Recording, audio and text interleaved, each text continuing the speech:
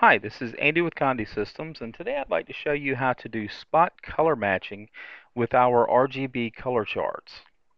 This has been done, and I'm doing this with CorelDRAW. Um, the first thing you need to do is you need to download the color charts from our website, of course. Um, I can show that to you.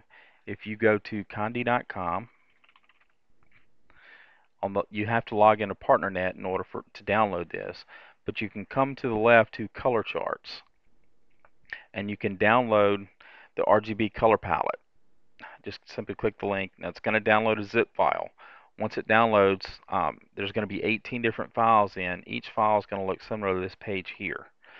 Uh, you want to open these up, print them, and sublimate them onto uh, an object similar to what you're sublimating onto. So if you do mostly um, aluminum dog tags or aluminum products, you want to get some aluminum to sublimate this onto if you do mostly shirts and fabrics, just get a few yards of polyester fabric and sublimate this onto the fabric. From there, you can sublimate. Uh, once you have these sublimated, you can look at it and see how each one of these colors is going to come out on that product. And then from there, you can keep this for future reference. So if you decide you want to create, again, this exact color green, when you're going to design, um, we'll go to a blank document. I'm going to create a box. I'm going to go back to my color chart and I'm going to locate this color again. Now we're using RGB.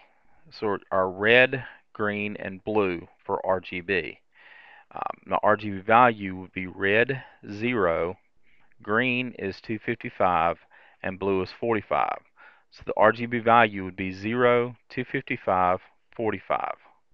So if I now come over here to my blank document, my, my box, I can do a fill.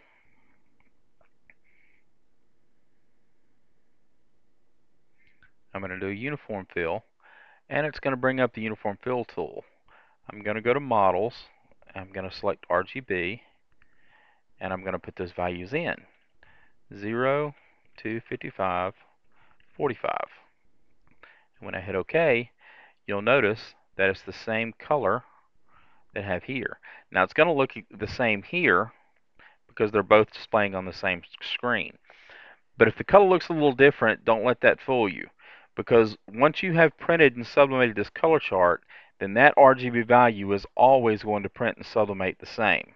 So it won't matter if this has a blue look to it. It's still going to match what you have sublimated already. You can do the same thing with objects that you already have created. If I come in here,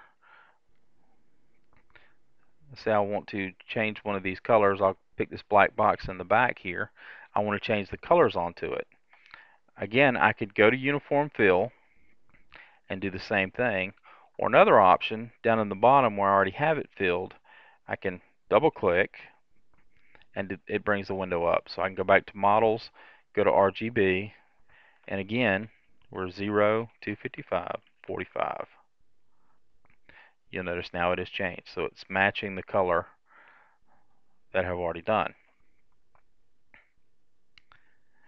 If you have any questions about this or anything else we have at Conde Systems, please give me a call to 1-800-826-6332, option 2 for the first available tech, or send us an email to support at conde.com. Thank you.